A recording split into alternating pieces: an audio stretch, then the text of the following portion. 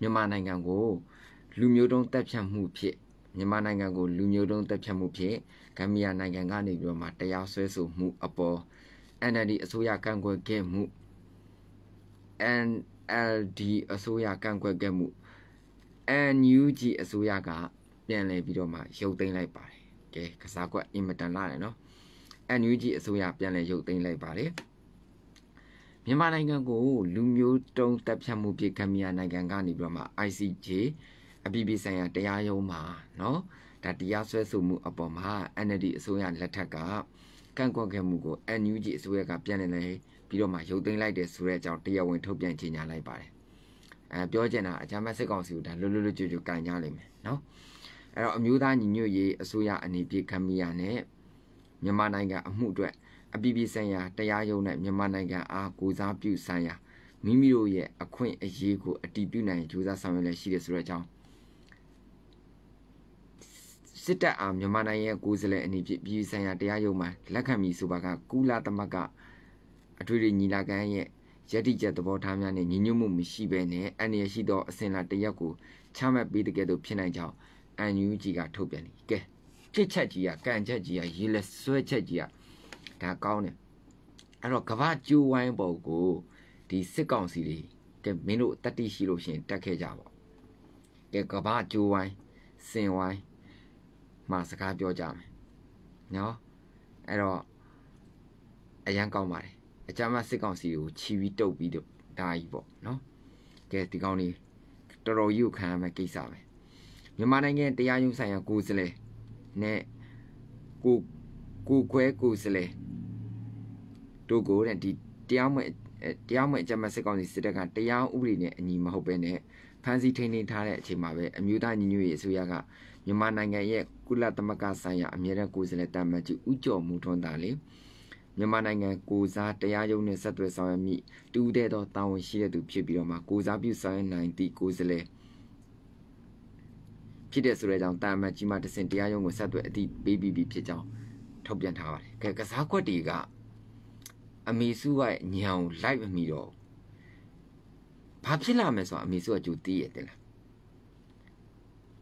အမေစုပြင်ဆင်ထားချက်တွေတော်တော်ကောင်းတယ်နော်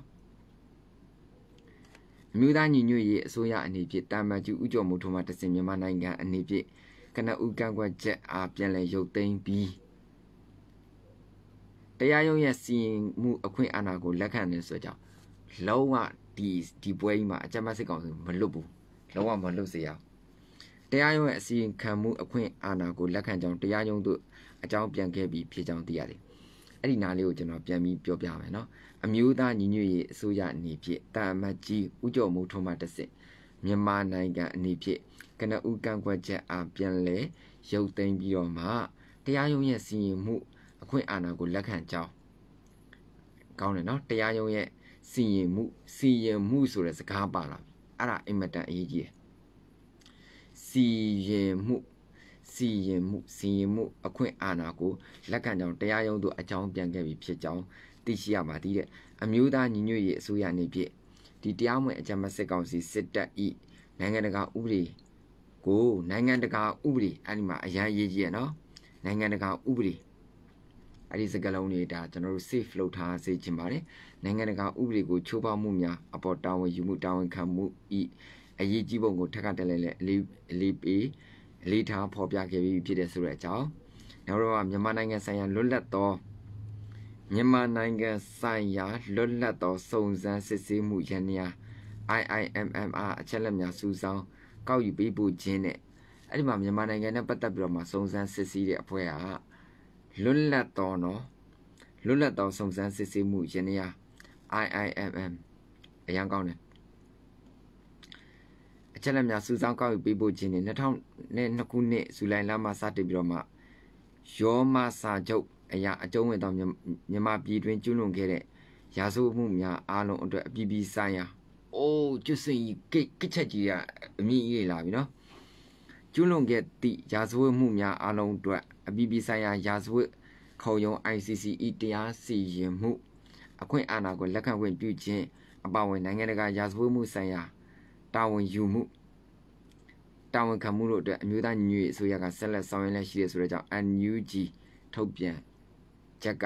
ဆိုပါတယ်ကဲမြန်မာနိုင်ငံကုလသမဂ္ဂဆိုင်ရာအမြဲတမ်းကိုယ်စားလှယ်အားတရားရုံးအတွက်မြန်မာနိုင်ငံကိုစားကိုစားပြုကိုယ်စားလှယ်အဖြစ် လက်ခံကြောင်းရှင်းလင်းပြောကြားပေးပါရန်အပြည်ပြည်ဆိုင်ရာတရားရုံးအားတောင်းဆိုအပ်ကြောင်း UNG ရဲ့ထုတ်ပြန်ကြေညာချက်မှာဖော်ပြထားပါတယ်ခင်ဗျာကဲဒီဟာလေးတွေကအပိုက်ကတော့နဲပါတယ်ဒီပုံစံတိုင်းဆိုလို့ရှိရင်တော့အကြမ်းဖက်စစ်ကောင်စီကလုံးဝဒီ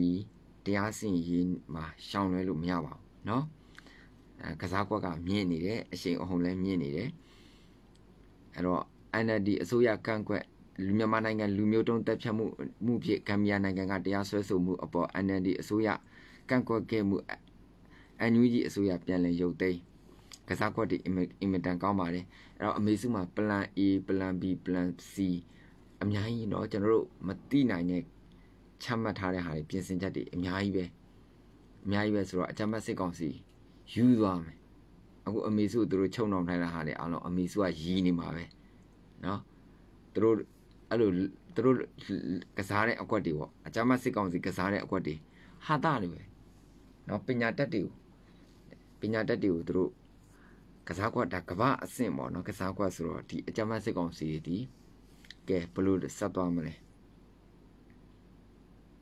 ကာမမရှိတော့ဆက်ပြီးတော့မှဥကြုံမှုထုံးကနေမှတဆင့်မြန်မာနိုင်ငံအနေဖြင့်ကနအူးကန့်ကွက်ချက် ပြန်လည်ရုပ်သိမ်းပြီးတော့တရားရုံးရဲ့စီရင်မှုအခွင့်အာဏာကိုလက်ခံကြောင်းလွတ်လွတ်ကျွတ်ကျွတ်သာစီရင်မှာကဲလားဒီအကြမ်းမဲ့စစ်ကောင်စီရဲ့မာယူရဲ့ဆံမှုတွေအားလုံးကိုလွတ်လွတ်ကျွတ်ကျွတ်သာတရားရုံးကစီရင်ပြီးတော့ဘာမှမကာကွယ်ပေးဘူးကွာရှင်းတယ်ကွာကဲအဲ့ဒါပဲအားကြောင့်ပြောတာပေါ့2လပိုင်းကုန်3လပိုင်းကုန်ဆိုအကြမ်းမဲ့စစ်ကောင်စီအတန်တိတ်သွားလိမ့်မယ်နော်2လပိုင်း3လပိုင်း ပြီးပြီဆိုရင်အကြမ်းမဲ့စစ်ကောင်စီအတန်တိတ်သွားလိမ့်မယ်ဘာအတန်မှထွက်ရတော့မှာမဟုတ်တော့နော်ဒီနေ့ပြည်သူပြည်သားတွေအားလုံးအောက်ပွဲခံတော့သူတို့အတန်လုံးဝမထွက်တော့အတန်မထွက်ရဘူးတွေ့လားအရန်ကြောက်တယ်တော်တော်ကြောက်တယ်နော်ကျွန်တော်အကြောင်း2လပိုင်းကုန်3လပိုင်းလောက်ဆိုလို့ရှိရင်အကြမ်းမဲ့စစ်ကောင်စီဒီတဲ့အတန်တိတ်သွားလိမ့်မယ်ကျေးဇူးတင်ပါတယ်အဲ့တော့ပွဲကြီးပွဲကောင်းတွေကိုကမ္ဘာစင်မြင့်ထက်မှာကျွန်တော် search ပြီးတော့ကြည့်ရအောင်ဒါအရေးကြီးတယ်နော်ဒီအချက်လက်တွေအရေးကြီးတယ် ဒီအကြောင်းတရားတွေအရေးကြီးပါတယ်လို့နော် ICJ case အပြည်ပြည်ဆိုင်ရာတရားရုံး case အရေးကြီးပါတယ်အပြည်ပြည်ဆိုင်ရာတရားရုံးနဲ့ပတ်သက်တဲ့အကြောင်းတရားတွေကိုကျွန်တော်ပြည်သူလူထုကမျက်ခြေမပြတ်စောင့်ကြည့်ပါပွဲကြီးပွဲကောင်းဖြစ်နေပါတယ်เนาะအဲ့တော့ဒါတွေကအရင်ကစ်ချက်တွေပြင်းချက်တွေလာမယ်လှလှပပနိုင်ငံရေးကမ္ဘာအဆင့်ကစားကွက်တွေလာမယ်အဲ့ဒါကိုကျွန်တော်တို့လက်မတွတ်တန်းစောင့်ကြည့်ကြပါစို့เนาะ ကျွန်တော်အကြိုက်ဆုံးသောအရာတော့ဗာလဲဆိုလို့ရှိရင်တရားရုံးရဲ့စီရင်မှုစီရင်မှုအခွင့်အာဏာကိုလက်ခံကြောင်းတဲ့ကဲလွတ်လွတ်ကျွတ်ကျွတ်သာစီရင်ပါအရန်ကောင်းတယ်မှုချအောင်တဲ့ပွဲဖြစ်တယ်ကျွန်တော်တို့ကဇွဲလုံးလောင်ဝရိယကျွန်တော်တို့မရှုပ်ဘဲနဲ့ဆက်ပြီးကြည့်တတ်ကြပါစို့